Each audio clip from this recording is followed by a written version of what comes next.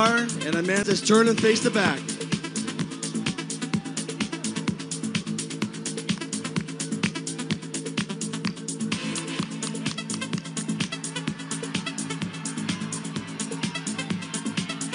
All right, guys, let's face the front.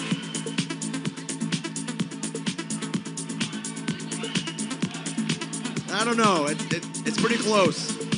Let's send it back to the line. We'll figure it out.